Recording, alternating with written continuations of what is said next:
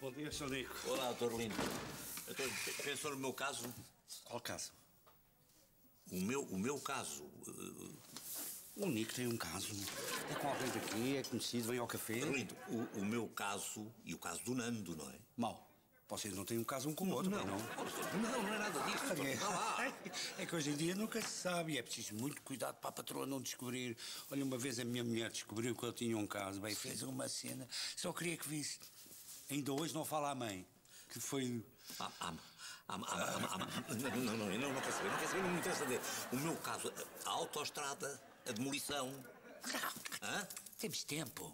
Temos tempo, mas como é que temos tempo se eles começam a demolir para a semana? Ó, Nico, eu, eu- já tive um, um caso em tribunal que eu resolvi num dia.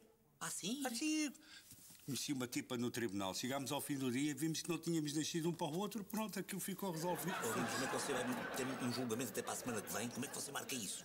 Calma, tudo legal, eu faço os, os julgamentos todos assim rapidamente. Aliás, eu julgo uma coisa agora, daqui a bocado já julgo outra coisa, mas tudo legal. Você é que sabe, você que é advogado, você é que sabe. Bom, Agora, por falar nisso, o Nico podia-me adiantar algum que é para eu avançar com coisa em tribunal. O processo tem que. Peraí, peraí, mas o processo ainda não está em tribunal. Ah, está, está, que eu saí daqui ontem e fui direito a tribunal. O que à noite? É, é melhor hora. Não está lá ninguém, aquilo. Ah, esperto, assim eu gosto, é um homem dinâmico, não é sumido quando vai. Ai, não vou à noite do tribunal, você vai e. Mas, pois, claro, assim é que é. À noite, pois, com certeza.